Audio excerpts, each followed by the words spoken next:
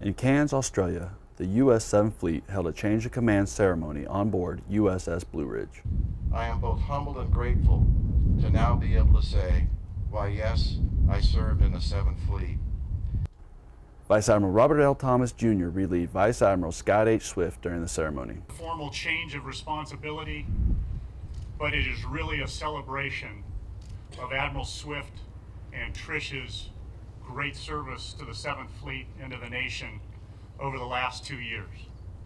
And as the new commander, uh, my guidance to you is steady course and speed. Reporting from Cairns, Australia, I'm Petty Officer Brannon Deugan.